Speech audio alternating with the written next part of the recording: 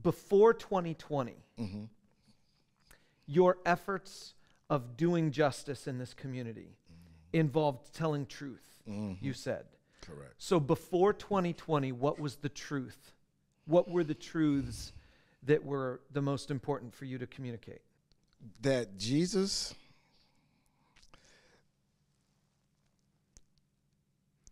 has come to set the captives free. You know, um, the truth of the matter is, and and that that we we do good, we do church real good. We go to church. That ritual is easy.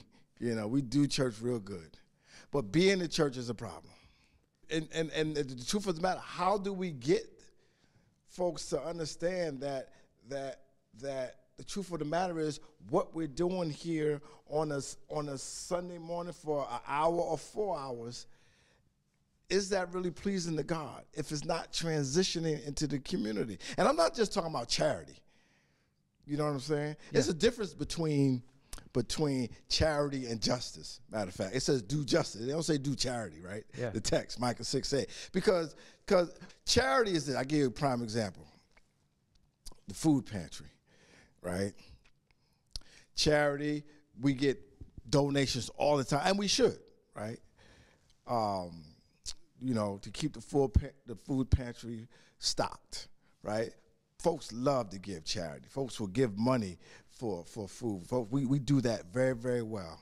The question is, if you want to go from charity to justice, the question is, why is over 40% of Purdue students and colleges of, like that 40% of their students suffering from food insecurity. Hmm. That's the that's the question about justice. So charity is great and we need that. But how do we put a, a food pantry out of business?